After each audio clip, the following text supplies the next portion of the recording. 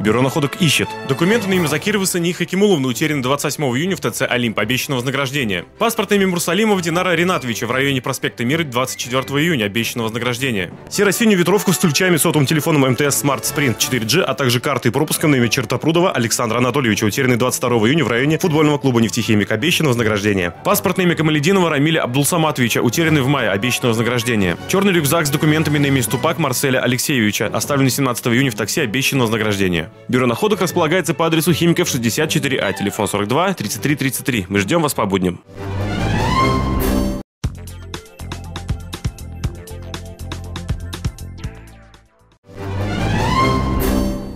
Бюро находок имеется. Детская джинсовая куртка найдена в районе проспекта Мира. Документы на имя Евграфовой Земфиры Мирсаефовны найдены по проспекту Строителей. Пропуск на имя Ахмедшина найдены в парке Семья. Ключи в черной ключнице 4 штуки плюс черный и синий домофонов найдены на остановке Вахитова. Детская черно-желтая олимпийка найдена 19 июня по студенческой. Женские часы Кимио найдены 16 июня на остановке Евролюкс. Ключи в черной ключнице 3 штуки плюс черного домофона найдены 17 июня по Химиков 72В. Две детские кофты, ветровка, перчатки, сумка и женский платок оставлены в парке Семья.